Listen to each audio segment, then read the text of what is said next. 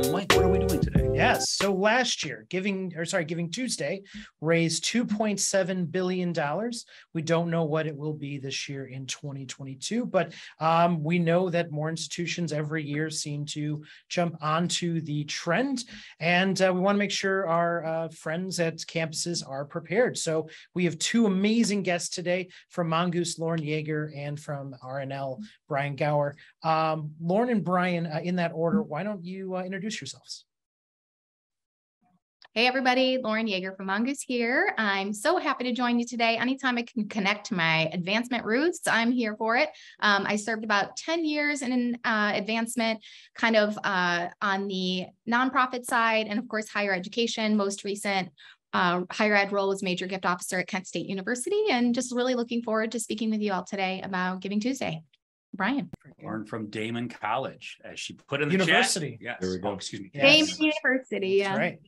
Thanks, She Great wrote, she wrote there. Daemen College alumni here. So uh, Sorry. Brian, There we go. That's what my diploma says. right. Absolutely. Those colleges that change to universities uh, later. Hey, everybody. This is Brian Gawor. I, I'm at RNL. I'm RNL's Giving Geek and Vice President for Research.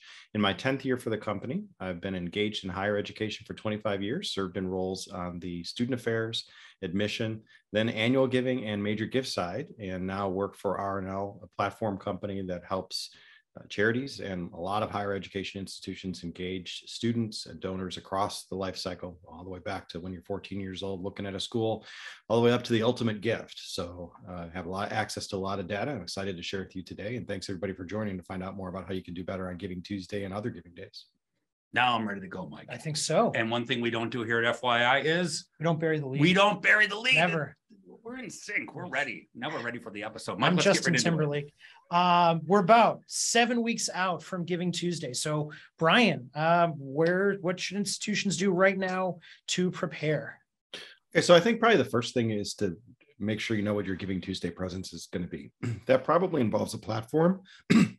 Although we've seen many institutions successfully utilize, uh, say, for example, existing crowdfunding resources on Giving Tuesday. That's a perfectly fine option as well, too. So you definitely want to say, okay, what is it going to be like on the Giving Tuesday experience? If you're going to be looking at a Giving uh, Day platform, something like ScaleFunder, Give Campus, GiveGab, a, a number of op- opportunities out there for you um, or you're going to be using a specific page to your institution. I would say paying attention to what the donor experience on that day is going to be. On Giving Tuesday, a little bit less of a whole, we're going to see that total rise with people constantly clicking on the page. That's a little bit different if it's your secondary giving day, but if it's your primary giving day, definitely want to get that all set up so that people can uh, see that um, uh, total rise. That's called the bandwagon effect, by the way, one of your chief currencies in getting donors to, to join a, a group and be social in their giving. And then I think the second thing is by now, really this week, you should be in sync with your major and plan gift staff for any challenges, matches, or gifts that are going to be announced on the day to build excitement. So you definitely want to have that in place. Then I would say, you know, in the next couple weeks, your pre-giving Tuesday communications are probably going to get started as well too. So you want to have that communication plan, and really within the next few weeks, knowing what you're going to be doing on the day of. A key component of that is likely to recruit some volunteers or ambassadors, whatever you call them. Might be as simple as taking a look at your student engagement center, that thing we used to call Phonathon, and having a plan for Giving Tuesday on that day. But I would think about all those key components right now. Um, it is a global movement. So I don't want to stress everybody out with this gigantic list of, oh my God, if we can't get this all done, we can't participate in Giving Tuesday. You have participate, you have permission as part of a global movement to participate in Giving Tuesday at, at whatever level you're capable within your resources, and you should definitely do it. But those are some of the key things you should be thinking about. What what are your suggestions, Lauren? Yeah, I mean, to that point, I, I think about the littlest of shops on the call today, and I know how you know coming from a little shop. Um, uh, my first role was at Daemen University, then college, as um, assistant director of alumni relations and annual giving. And you know, sometimes these I would come to these webinars and I'd be like, "What applies to me? Like, we don't have these resources." And so I think it's really important to stay focused focus on the things you can control and the resources that you have and just execute the most uh, minimum viable effective thing that will work for you all. And so um, start thinking about your content. What is the angle you're taking to this day? If you already do a giving day for your institution, how is this different than that? And I encourage you to make it very distinctly different so that it stands out as, as something different than the other thing. Um, and, and what does that look like? What's involved, what's the messaging, um, who's involved, maybe a much more targeted than your institutional day of giving, where it's like all hands on deck, any cause, any reason. We just want everyone at the table you can really use this as an opportunity to be more targeted and highlight a specific thing that maybe reinforces your institutional brand on this day. Um, I'm going to talk more about, you know, what you could consider, um, you know, taking the, the helm of that day. But think about it being focused. You don't have to do all things that all institutions do. Pick a handful of impactful things and just reinforce your simple, clean, targeted message. Do you think institutions should do both a Giving Tuesday and a Giving Day campaign, or should they pick one or the other? What are your thoughts? Well, I would say on your Giving Tuesday choice, you either are or aren't part of a global philanthropic movement, and you are. So you're going to do something on Giving Tuesday. You may make the choice, as Lauren suggested, it be, be fairly minimal, right? Mm-hmm.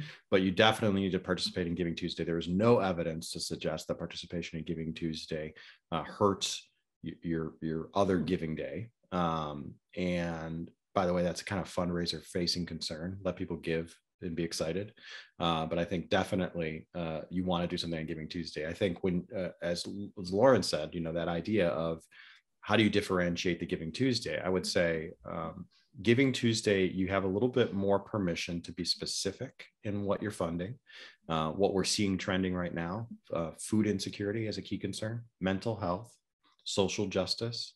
And I've also seen some institutions do quite effective work on Giving Tuesday with veterans support. So those would be probably four of the of initial areas that I would suggest might have some opportunity for you on Giving Tuesday. I think um, I don't know if people heard this from me before. I've talked about the idea of three prepositions that drive mm. giving: uh, to, for, and through. So on your giving day, your main giving day, you're going to have a lot of people who just give because of your brand, and that's giving to your university or to your organization. On Giving Tuesday, you might have an opportunity to focus a little bit more on for, which is where people are giving for a very specific purpose. But don't neglect that final preposition through, which is the opportunity for you to be part of a global movement and say, we do some things out in the world that may even be associated with other charitable organizations.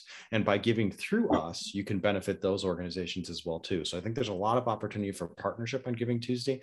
Any higher education institution, for example, you have education students on a daily basis out in schools and there's a tremendous opportunity to support the, the, the, education outside of higher education for the work you do in higher education. So that kind of giving through. So i just encourage everybody to think a little about with every appeal whether it's giving tuesday or giving day to for and through. To your brand to your mission to loyalty for a specific purpose or to impact change, to impact a specific cause, or through kind of through our partnership with what, what, other places we're doing in the world. If you focus on those three things, you can put together some pretty powerful messaging.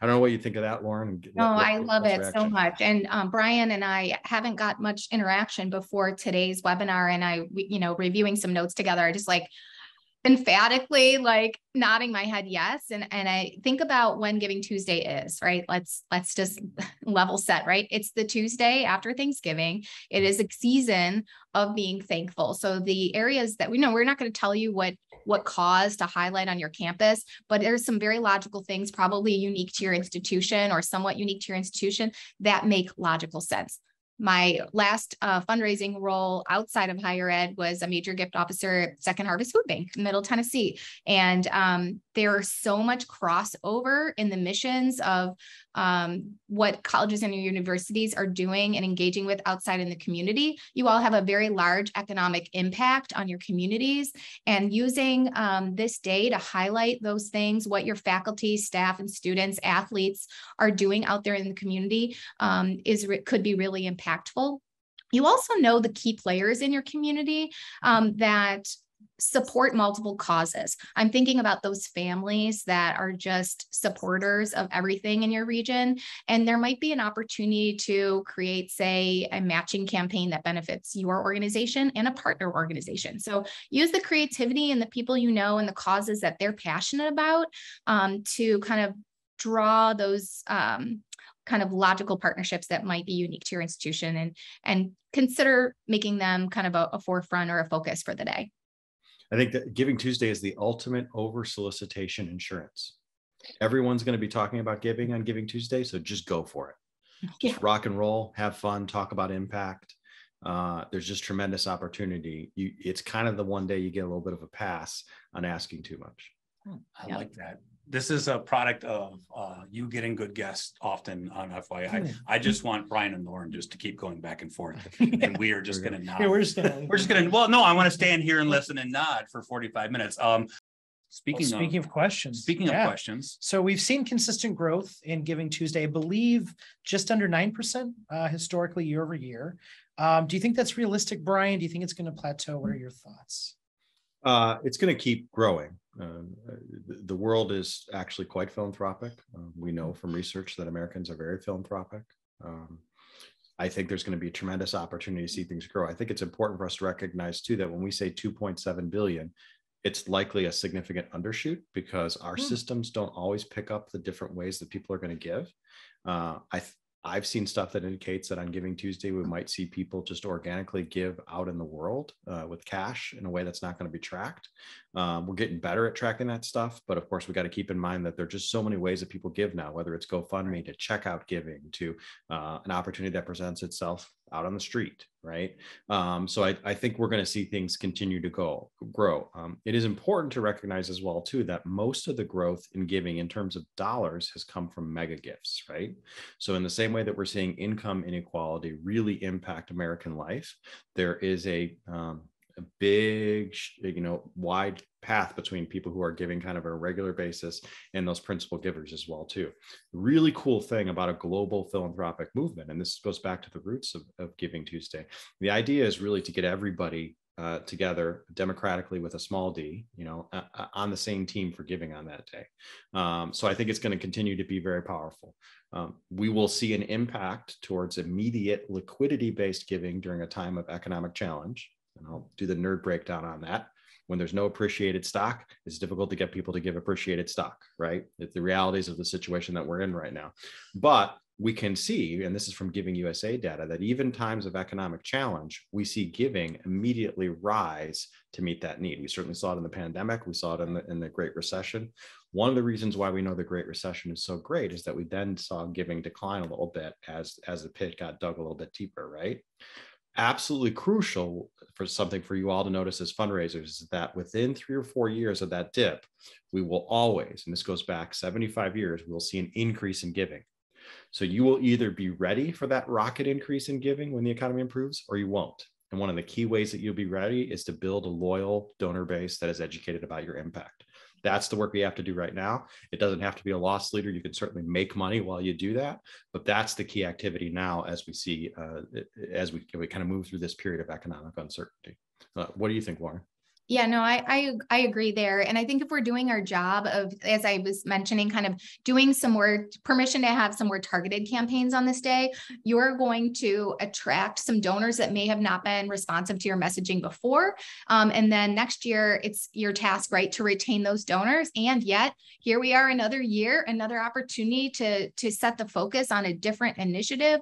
Uh, yet never letting go of those that we engaged the year prior. And so as you do these each year, you have this bank of folks who had given the year prior to whatever inspired their messaging. And it's really on you to track that, listen to your donors, and then retain them. Uh, so those first time donors are not, um, you know, part of the leaky bu- bucket problem, but that you're not forgetting about what motivated them to give in 2022 and ensuring that you're um, being more inclusive every year uh, to the past campaigns you've done and also the future ones that you're you're setting out to focus on.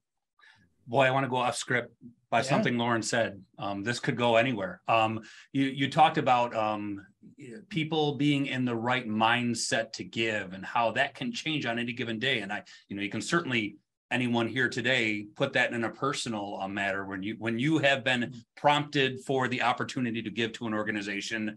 Where are you? How are you seeing this message? Would you have given yesterday, if not today? Like, so how much should institutions think about that? Like in terms of being afraid to over message or how you craft your message. People's mood changes day to day, their situation changes every day.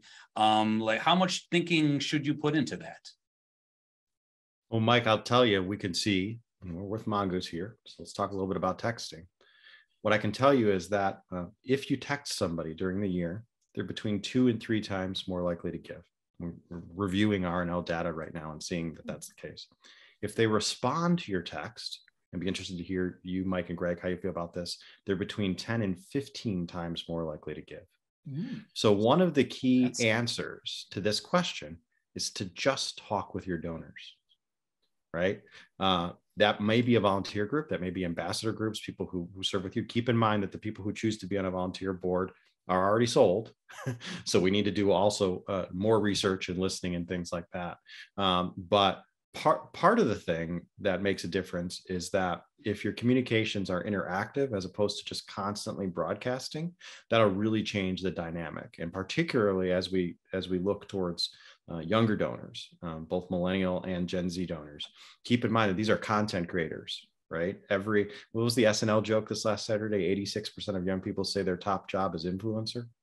Right. And then she whatever threw the wine or hit the I, it was funny skit. I can't right? stay up late enough to watch yeah, Live, but it's so it's a hilarious skit. It's a hilarious script where they just uh, you know, a fake game show where they're just playing people these telling people these things over the last few years and then they go kind of go crazy a little bit.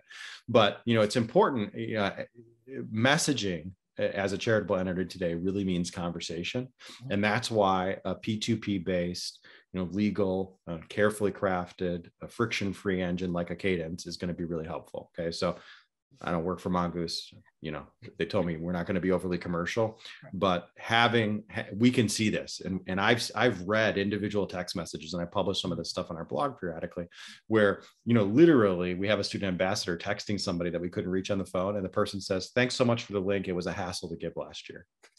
right and and the unit cost of that solicitation which is going to lead to a 200 300 400 dollar gift is like when you model it out it's like nothing right and so and so i think really focusing on interaction would be one key thing to do even on giving tuesday yeah, it's Greg. You know, it's funny. The thing that I would add to that is that I think we all suffer a little bit from ADHD, and that's not to uh, diminish those who genuinely suffer with the disorder. But I will say that um, my mood at any given moment can be very different. And some of it comes back to what Brian was saying, the SNL skit with like, you know, you hear a headline and you're just like, and so like in that moment, I'm in a different headspace than I was just, you know, seconds prior. And so the more personalized your medium is, Brian mentioned texting, obviously that's something I care deeply about, but the more personalized it is, which I would say texting is probably the most personal, the more important that messaging is because you are only catching them in the moment that they are in, in their headspace at that moment. And so creating, I know I joked with a vibe, but messaging is really important. If it's a different medium, an email where I, I have the bandwidth to digest some more information, you can really create an environment and a story that's impactful that will motivate me. A text you know maybe it's a, a, a sh- short picture or a video that you can um, send along with it to create the experience that you want them to feel that motivates the giving. So um, you know blasting out it's giving tuesday click here to donate is not going to do it for me. It's right. just not going to do it. Um, so i need i need some more information like why today and not yesterday to your point Great. right. And and that would be a great message to send people that you can model on your data that are likely to give. Maybe they've given on previous giving Tuesdays, whether you're loyal, loyal LYBUNTs and it's around the season that they tend to give. That would be exactly friction free the way you want to do it hopefully that link leads to a mobile friendly. I love how many people text out links to things that are that not mobile friendly. You're literally sending to something to somebody's cell phone and directing them to a not mobile friendly site. If you need a mobile friendly giving site, contact me. I give you some recommendations. But we've got to fix that problem first. Got to be easy to give. Those people who who are, are on the fence and just need that little nudge, absolutely. As Lauren said, for other people who really need to establish a relationship with you, maybe it is a bit of back and forth. If it's people who have given at some point in the past, you're fairly certain that they understand the mission. Maybe you do want to go towards the impact story, right? So really thinking about those potential segments.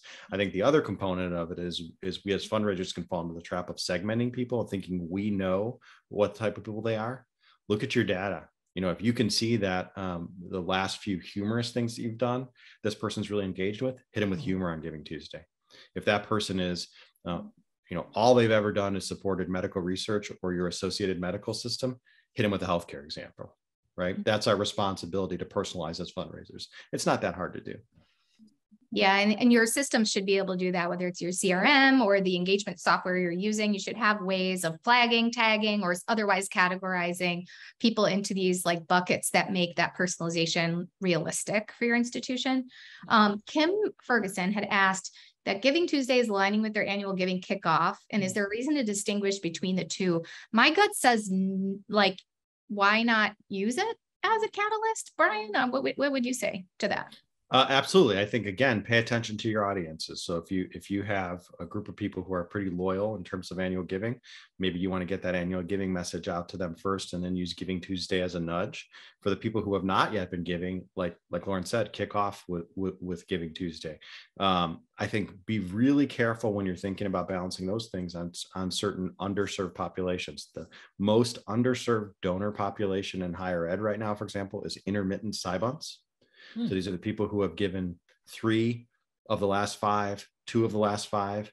There's incredible value of getting those people into a stable annual pattern. It's also, by the way, super tied if you can get them to, to a level of loyalty to potential future major and plan gift, right? And so, really thinking about that group of people, uh, there's some awesome ways that you can use dual messaging. I think the other thing too is always just be really careful about fundraiser facing messaging and donor facing messaging. The hmm. question about whether or not our annual giving kickoff is going to conflict with Giving Tuesday is largely a fundraiser facing concept. Just make sure that you're only spending a certain portion of your time on fundraiser facing concerns and focusing as, focusing as much as you can on the donor experience. I know, that's, I know that's brutal. I know that's brutal, but sometimes you need like we get in our heads as fundraisers we get yes. in our and we get in our you know corporate mentality of our organizations even if they're particularly small just always be thinking how does this impact the donor experience my apologies for interrupting. Um, like I was just saying, it's a good thing this is recorded so yes. people can I see people writing. There's a lot. There's a lot of information. it's a lot easier when that, can, that's yeah. that's great. Um, we want to make sure that um, this is for your institution, not our institution. So um, we asked you uh, to answer ask some questions, and you did. And Colby Adamski, our uh, brilliant producer, is going to um, uh, get those questions flying. Colby, I believe we have some comments and questions that have come in. Yeah, we have, we have some great questions coming up right here. The first one, which was from Iris George, is wondering if you guys have any examples or case studies Ooh. from a smaller university and something that stood out from their Giving Tuesday, something you can share. Or and which was also echoed by Rachel Cohen right afterwards. Um, she really wanted to get that insight as well, and especially when it comes to a texting strategy. Okay, so even if it's not like a link to a case study, even if it's just an example of that, yeah. but um, Brian, I'd ask um, uh, if you have an answer to that. Tiffin University, they're going to double their annual giving donors this year. Really, really awesome wow. stuff happening there.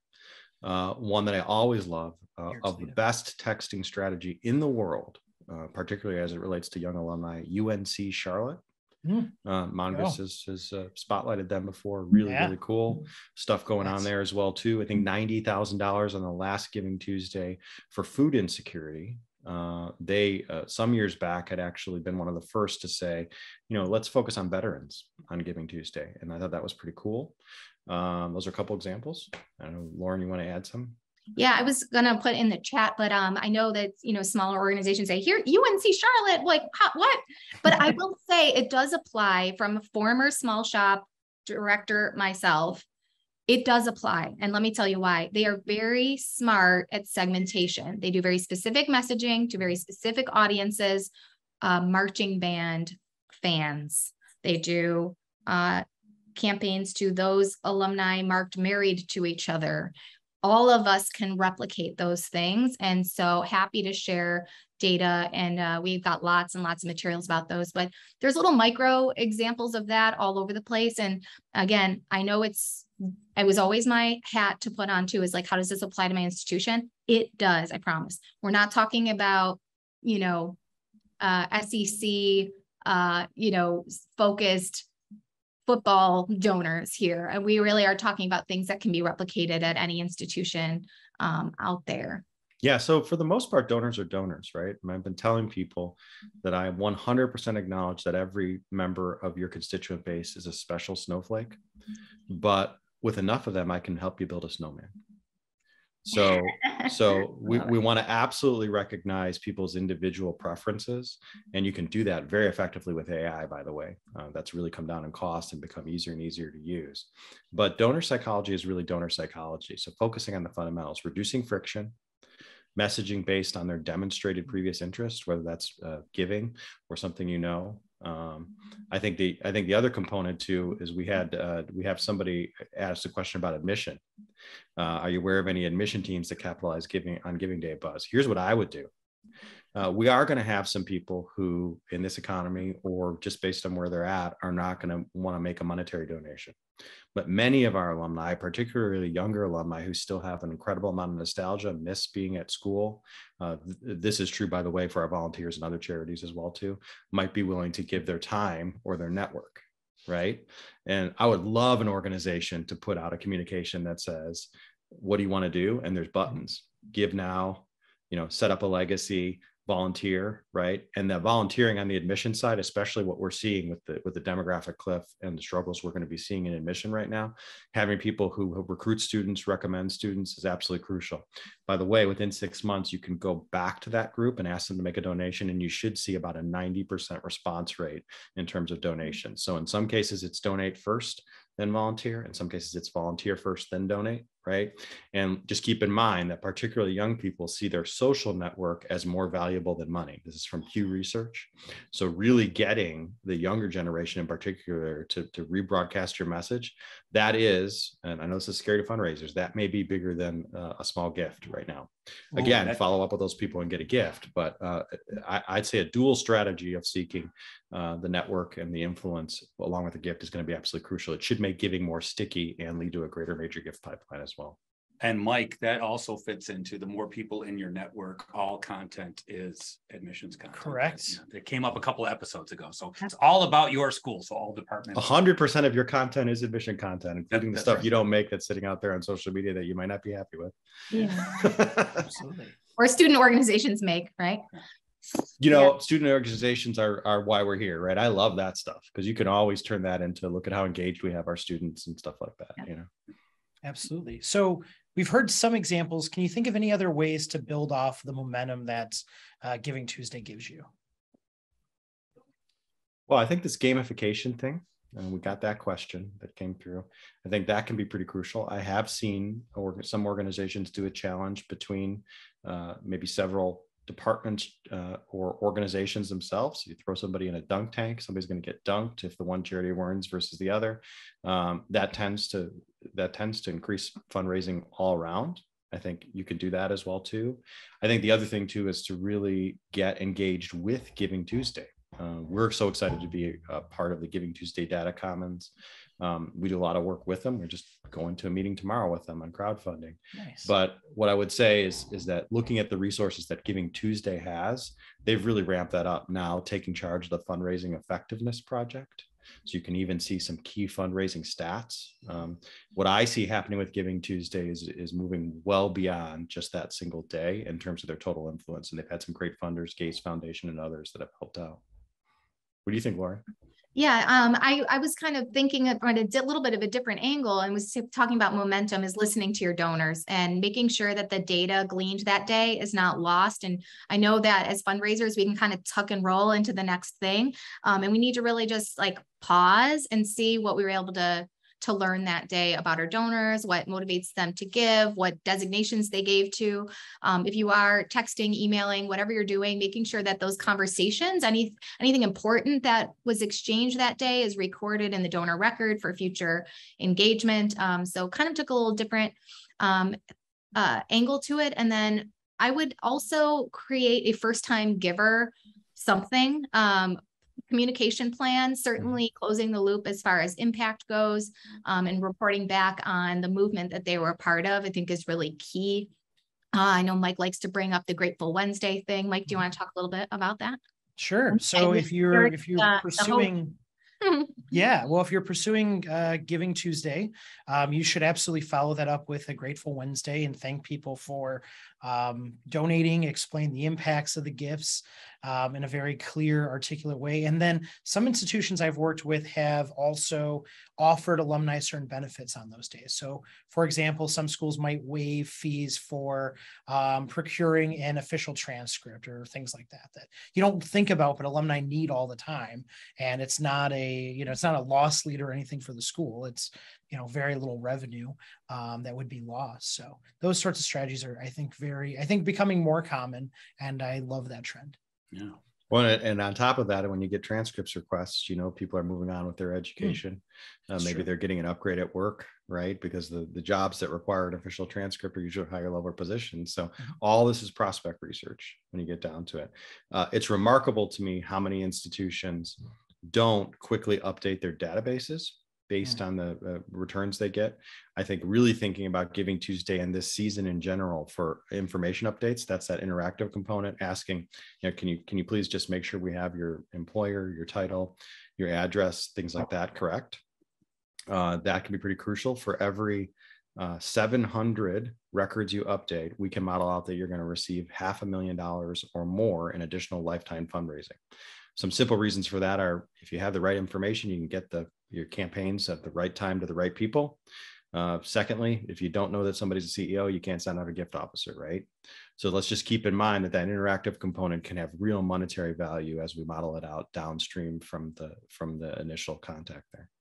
RNL backs it up with stats every Exactly. time. I know we're not limited to advancement and fundraising audience here today, but I do love the enthusiasm um, for this. More questions, more comments coming in. Um, and we've had in a couple of FYI. So um, let's get back to that. Colby, what is our next question or comment there in the chat? We're, we're keeping you busy today, Adam Ski. I'm loving it. I'm loving it. It's a great way to enter the uh, FYI realm here. I just want to share a quick comment from uh, Greg McGowan, a uh, client success lead here at Mongoose. He says that he loves the idea of incorporating a volunteer option, echoing what Brian said. He thinks that maintaining that relationship is so important, even if someone can't make a financial gift at the moment. Love to hear that, Greg.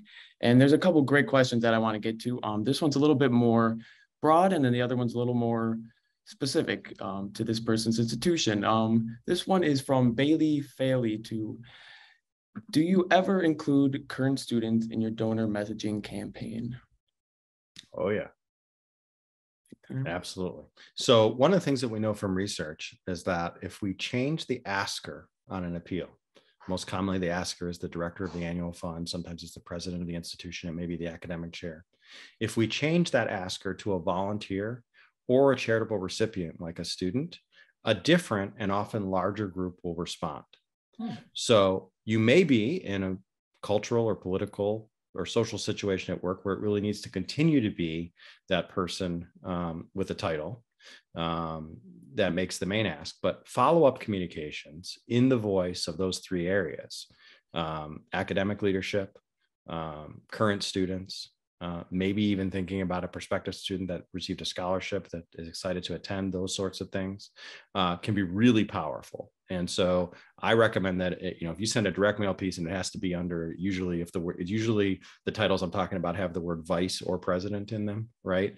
Um, making sure you follow up, but in a different voice from a different perspective, Fel- fellow alumnus or volunteer, current student, uh, those sorts of things. And, and this applies across the, the, the way in terms of charity. This can also be really effective on the enrollment side as well too.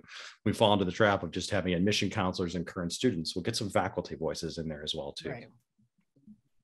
Yeah, I would, I would add to that too, Brian, um, is the, the closing the, of the loop as well, the thank yous, um, simple as a photo of a bunch of students in front of your student center holding a big thank you sign, you know, getting that out there as well, um, could be short video, um, about an impactful story. Thank you because of your support. I was able to do X, um, related to what they gave to. Um, and then also as far as, um, and we were talking about partnering with organizations that your organization is supporting out there, partnering in the community with, um, uh, there's a homeless shelter, a food bank or whatever. You could actually kind of do a day in the life of a student, um, kind of follow them and uh, highlight the impact that they've had at that place, but also the impact that that experience has had on them and using it um, as a part of your appeal as well. So in that instance, they're not exactly asking, but they are the content, uh, the message that's being uh, relayed out to the donor. And you're likely at a higher education institution, eh, your students are probably not going to be there uh, on Giving Tuesday, depending on your break schedule. Maybe they will be, but uh, leading up to that, one of the things you can do is uh, just go out into the main thoroughfares and ask students uh, to do a thank you note to a donor. You can produce a very simple, here's how to write a thank you note, share some examples. They spend maybe five minutes, give them a cupcake, you know, whatever you can afford to do, it can be really powerful. Uh, people say, well, does that, does that increase donor retention? You know what it does? It makes sure that your current students know that your organization is a charitable entity. We can very quickly fall into the transactional paradigm, particularly in higher education, because we are expensive. And by nature of our financial aid processes, people stretch to afford these experiences. It is outside of purchasing a home, the largest single investment that an American makes is the investment of higher education right? So uh, we got to make sure that we establish ourselves as charities. In many cases, people will approach those tables to do a thank you note saying, "What do you mean?" And you can say, "Hey, did you know that X percent of the of the cost of, of your education was covered by donors, or we have received this how many hundreds of millions of dollars over the last X years?" Quantifying that, um, that educational component is extraordinarily powerful as we move forward. So really think about Giving Tuesday and this entire fall season as an educational endeavor. Awesome. Colby, I know you had another one lined up right after that. Absolutely. It's a great one from Emily Schrock. And Emily says that they plan to do a peer to peer fundraising campaign before and on Giving Tuesday with a select few employees championing their specific areas. Is peer to peer fundraising a good option for Giving Tuesday in this way? She wonders. Yeah, I think so. Number one, make it as easy as possible. Uh, don't try to exert too much control. People talking about giving or people talking about giving, it can be very powerful. Um, what I encourage people to do when you're in the peer to peer environment is to really provide very concrete things that people would do. The, the example given here is before and on the day. Make sure that you have those. This includes literally pre writing social posts for people. Mm-hmm they'll modify them they'll innovate and change but we got all got so much going on. Keep in mind as well too that your volunteers if they're not the not just faculty and staff probably are volunteering for other organizations because one of the things that we can see in, in charitable data is that many people who volunteer volunteer at more than one. So just being the easiest organization that people have to work with can be really powerful for you right? Um, I would say you could take this any direction you want. There are platforms. We have one, for example, that tracks ambassadors, so people get an individual link that gamifies things. So you've got people who get into it and they, they want to be the one who gets the most gifts on Giving Tuesday. That can be super fun. You don't have to go all the way to that far. That maybe is a, a bit of an advanced strategy but i would say just give people really concrete things to do. Don't just say hey everybody go out and cheerlead on giving tuesday. They're not going to do what know what to do when they wake up. Should wake up to an email for you with with the very specific instructions on what to do to that point, uh, Brian, about gamification, I know that there was a question in the chat about gamification too. And um, I always like to share this example. On last uh, Giving Tuesday, I woke up early, you know, I gave to my alma mater, of course. And next thing you know, I get a Facebook message from my aunt, whose granddaughter is goes to my alma mater. She's uh, like a track star there. And it turns out that the athletes were all doing competition of which of the athletes could raise the most money or new don I think it was new donors to athletics. So you could have been a prior donor, but I had to be a new, to this designation new donor. And those that got the most donors, new donors, were going to get like a bump all the all of the coaches had agreed to give a specific amount of money but it was going to go to the sport that got the most new donors. So of course i had to give again to my alma mater. And so what i would say with gamification is that you'd be really surprised. I would have never in a thousand years would have told you that my aunt would be fundraising for my alma mater at some point in my life. Um, and so those things actually can have really for my niece or my cousin, whatever she is to me, you know, her her grandmother is replicated probably a hundred times. There's like a hundred grandmas out there on Facebook trying to get everyone in their circle to donate. So gamification is always worthwhile, um, and it doesn't have to be overly complicated. Um, you can scale it to your institution and what works for you. Yeah, and if you're going to gamify, make it participation based, make it number of gifts based. We can see in the data that participation based campaigns, so the ones that are focused on bodies that have given as opposed to total dollars given, they actually raise more money. And that's because the average person can't think of themselves as a per- percent of a dollar, but they can think of themselves as the next donor. Hmm. Right. So, really, when you're thinking about your gamification, lean into participation. I love that idea of the coaches getting together and then seeing who's going to win. We have a couple examples where uh, it's the water polo team that won right and it's like nobody expects that we expect it to be Right. football basketball but the loyalty that we see you know it's it, it it it can be a pretty incredible thing i'm also thinking about radford university that structured a giving day athletics giving day around the idea of one donor per student athlete so this is almost going back to world wildlife fund sponsor a tiger right uh, really cool stuff so just having a kind of modest goal of saying can we recruit uh, one donor per student athlete really cool Never mess with the water polo team. Correct. The, the endurance alone, Yes. those are the toughest. Lower body people. strength. That's right. And Yes. giving day strength as well. Very good. So it's interesting you bring uh, this example up. I wonder, i- is there a way to balance centralizing versus decentralized? Because obviously, the more options you have for donors, the potential for confusion, but then you're also losing an element of community, right? So where do you find the balance there? Oh, fundraiser drama. Okay. uh, here we go. Uh, so I would say on Giving Tuesday, pick a few things to focus in on. I think we've been pretty clear that this should be a mission and impact message. Um, you might get requests to have a Giving Tuesday campaign. Uh, generally, from what we can see, is that if uh, if there is a list to program to of at least 200 good email and mobile phone numbers, and about 10% of that population is previously given, you're probably okay to feature them. So that's a decent metric to go by. Um, I would say you got to pick and choose because you're only going to be able to market and publicize so much on a specific day like this. Um, because again, I think we're all recommending that it's probably smaller than your main giving day if you have a main giving day. Um, keep in mind that if someone approaches you and says, you know, can we do this thing on Giving Tuesday? You know the answer can be absolutely drive your friends to the donation site. You know how people can donate to your program right now. You know we've already chosen our key charities. We can't you know but would you be interested in a crowdfunding campaign that will launch december 1st right so always look at the people who approach you and say can we do do a thing on giving tuesday or any other giving day as an opportunity to engage them further in other ways you're doing fundraising the fact that they're coming to you and saying hey we think we, we can go for some philanthropic support is a good thing and you can redirect the efforts to things like crowdfunding or, or, or other efforts where you're going to have a little bit of a ramp to work with them a little bit more closely. Makes sense. We're, uh, we still have time left for questions for, uh, Brian and Lauren. Uh, great responses, great questions Yes. coming in. So thank you for that. Um, Mike, there's a texting centric Oh, question. there We get almost every episode. Yes. Colby, I want you to ask that, um, because it's a question that, um, comes up a lot. Um, yeah, guys, absolutely. Um, it's, I mean, we're talking about uh gamification a little bit, but is, should you wait until your giving day to gamify engagement? Uh, we did cover that. I was talking about Lizzie's question. Oh my gosh, so sorry, guys. So sorry about that. Yep, my bad. You're doing Um, great, Colby. Colby Thank you, Zaricki is doing fantastic. That's right. Yeah. This is this is actually from Lizzie. Um, my team has been told via Mongoose that sending a link slash picture or video text to a donor before they opt in will filter messages like this to spam. Is this still the case, or is that not anymore?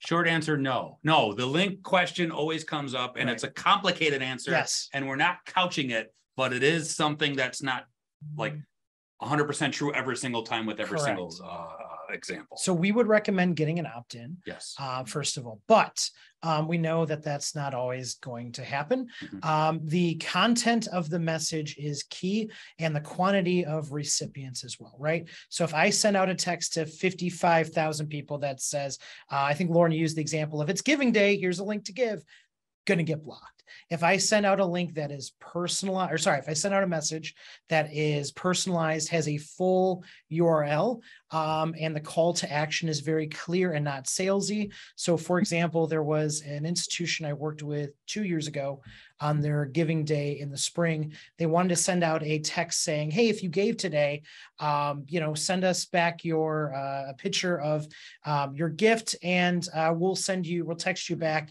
uh, 20% off the bookstore uh, code." Bad idea. So anything that looks promotional or salesy, more likely to get blocked. But if you keep the messages smaller, or sorry, to a smaller audience, use the full URL, keep it personalized, it's more likely to go through. But there's a lot of uh, there's a lot of nuance in that. Also omni-channel, set up a text Yes. that sets sends to an email. Hey, um, are you interested in this link? We just sent you an email. That's a great way to get around that. Email set up text, which set up emails and it never ends. Right. Omni-channel. Om, omni-channel amplification. That's how we rock and roll. That's what you got to do. But that idea of saying we're texting you because we just sent you an email is absolutely crucial. Um, hey, here's what not to do: start your texting campaign just on Giving Tuesday and blast giving messages. Mhm. Um, what you should think about doing is earlier, uh, and this is a great play for those of you in higher ed in this coming up fall. You know, text a group of uh, your constituents a question like, uh, "The students are moving in today. What advice would you give an incoming student?" Right. So you're engaged in a back and forth. You can use that to publish a great content piece. You can reply back to people. But if you've set up that relationship where there's a back and forth, you're going to see much more tolerance on the part of your donors. You're not going to see the opt outs and things like that when you later uh, go and remind them about key things like Giving Tuesday or your Giving Day or the year end deadline or things like that. Very well said. Yeah, not to bring up UNC Charlotte again, but they did win an award for their pre-engagement uh, leading up to a giving day. They did a, a very simple survey asking people what they most identified with as their uh, experience as a student on campus. And then guess what? They used that data to inform a future solicitation that targeted what they most were interested in. Um, and it was done in like a really nice way, basically saying, you know, today's Giving Tuesday, you can give to any designation, including those that support the marching band, you know, back to that. So um, yeah, there's there's definitely ways to um, get data leading up that's not kind of lip service, but driving meaningful engagement up to those solicitations is really important. Um, I want to go behind the curtain a little bit, Mike. Is it okay if I go behind the Yeah, curtain a little bit? And, away, and. Brian did touch on this a little earlier, but um, we send the questions to our guests just to give them an idea what we're going to ask, and sometimes they'll give us input back. And Brian had a response to a question that I really liked, and I don't know if it got enough um, coverage, although it was touched on. So, Brian, we were talking about differentiating um, from other institutions, other um, uh, uh, fundraising efforts that are going on. And you had a response that uh, differentiating or setting yourself apart is not exactly what you want to do. Could you elaborate on that a little bit? Because I really liked your response to that. Yeah, so I think you want to lean into the global movement here, right? And every one of our organizations is associated with other charitable organizations. And so I would I would really be careful um, messaging a give to us instead. I think what you want to do is to give with us along with other organizations. Uh, that can be really powerful. So it's so you are you are you know don't stand out, stand together, um, and absolutely no problem to have pictures of your students in Habitat for Humanity shirts building the Habitat for Humanity house, which is you know likely part of uh, your institution's culture for decades, right? Um, that's what you want to do. So we want to be looking at charity as a community effort, and so don't stand out, stand together. Um, be sure you give them the link to your site to give to you to your organization. You know that's where you reduce friction and really channel people. But I would I would coordinate with other charities. Uh, it's a it's a great way to do things. I love the headline, don't Yes. stand out, stand together. So I do. glad that I brought it up again. The coordination is very interesting too. I love hearing that. That's not something you would typically. Yeah, there is not a mythical donor, for example, that chooses a single charity and get, distributes all their wealth. Is there still time with seven weeks left until giving day to pull that off for this season? I would say this is the week you got to set your platforms up. So Yeah. if you don't have great tools like a texting platform, a giving day platform, a crowdfunding platform, you got to get that in place as soon as possible because you got some tech stuff you got to do. Um, absolutely contacting local charities. Uh, I would say on the higher ed side, super easy to do that by just going through your list of student organizations or contacting your colleagues in student affairs and say, we have this idea. Do you have any suggestions? You may come up with something that you can't pull off in seven weeks, but again, then that can be a crowdfunding campaign. That can be a spring appeal. You're building a network there. Say one key thing to do as you do that is never go and contact another charity for a one-off. Never go to a student organization. And I see this mistake made constantly in the diversity, inclusion, and social justice area. Hey, can we do something with you? And then you kind of disappear from their lives until the next time around. Hmm. If you're going to work with an organization, you're going to work with a student organization, you become a member, you attend, you participate, you use your resources to help them. eh, You're going to see a much stickier and, and greater relationship over time with that. When we take a look at some of the incredible dance marathons, for example, that have developed in higher education, millions and millions of dollars, those are long-standing collaborative efforts, right? Uh, so particularly when you're going out there in the social service world and in the social justice world, uh, when you say, "Hey, we want to do something with you on Giving Tuesday," do not forget that charity right after Giving Tuesday, and then contact them again next year. It's not going to go well. Good. Excellent. I'd be curious uh, for Lauren and Brian both. One of the friction points I hear from institutions is how do we approach our most recent graduates? Because I think there's a fear that, you know, the students react and say, oh, here it comes. Now I'm, you know, going to be a donor for the next 35 years. So how do you, uh, how do you handle that? Yeah, I mean, I, I guess I would start by focusing on participation for sure. Um, and then also using the data that you might know about those folks to drive their giving. Um, maybe they don't respond most to more generalized campaigns. Brian, anything you would add specific there? I'm thinking on it. Yeah, you can take a look at rnl.com. We have a paper on young alumni engagement, a couple of them, and we received some resources from the Schuler Education Foundation to do the largest survey of young alumni that's ever been done. And we hmm. asked the young alumni, what areas do you support? And a whopping 6% of them said they want to give to the annual fund. Wow. But 50% or greater of them are indicating interest in scholarships, the environment. Okay. Intriguingly, all things that the annual fund supports. So uh, I used to say, if you want to market to young alumni, market with impact. I think that's garbage. I think it's all donors now. Um, so I think it really is about saying, how do we, it, you go back to those prepositions, uh, to, for, and through right? You're going to establish a brand. You're going to need to market an annual fund. You may be expected, in a budget relieving sense, to get a lot of unrestricted giving. But uh, really think about what are people giving for, and then what is that collaborative effort through in terms of what the current students, faculty, and other people are doing.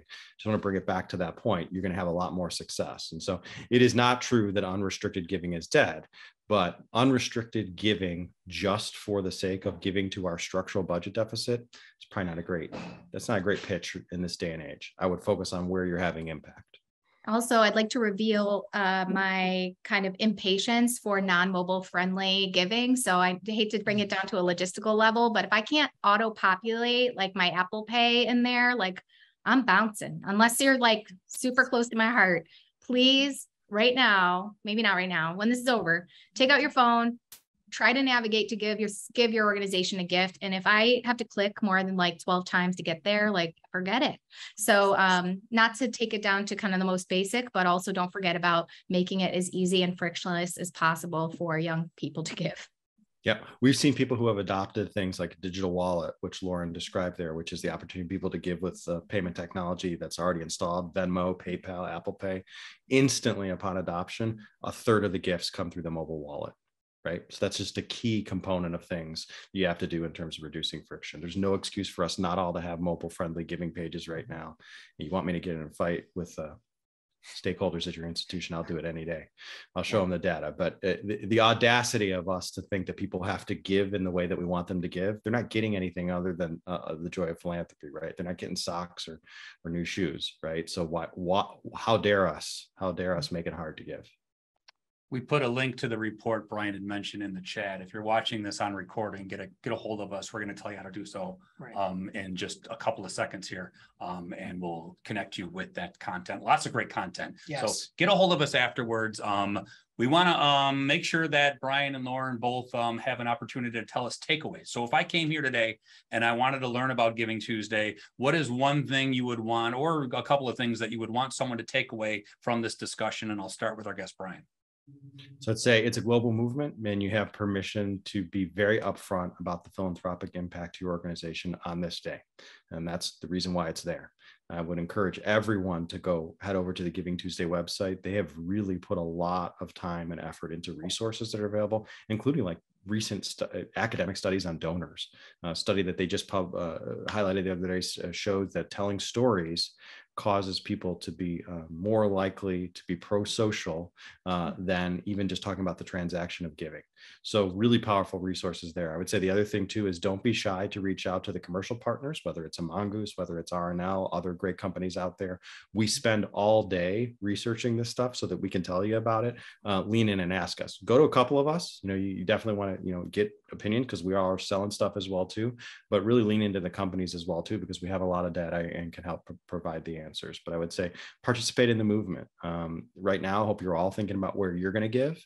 Uh, you should be able to answer that question. If you hit a donor up for some money on Giving Tuesday and they ask you where did you give, you better have that answer ready. So uh, we all have to give as well too, at, at the degree that we can. Yeah, um, adding to that, I'm just say stay focused. I know we talked about a lot of different strategies today all of those uh you know the tech stack you might not be able to implement them all choose one that you feel like would be most impactful to your organization and go with that we know budgets are a real thing um storytell stay focused. What what is the brand of this day for your institution? How is it different than your institutional day of giving if you have one? Um, so brand it. And so if you brand it keep that in mind so that all of your decisions, your content, and the way that you convey things are kind of filtered through that so that the messaging is focused. We talked about omni channel. I love the idea of having one story and deep diving into that story about that thing.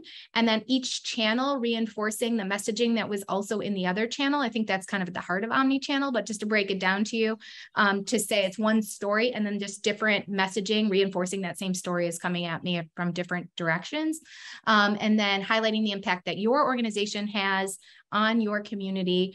Uh, pick a couple that are compelling and deep dive into those um, to inspire action. So again, it, it makes it feel like a community centered experience, not just give to us, but like give to us so that we can do X. Um, Brian, you said give to, for, and through. Is that the correct way? You got it. Those are the key prepositions. I think that those are are wonderful to keep in mind of choosing different ways that people can uh, be part of that day for your organization.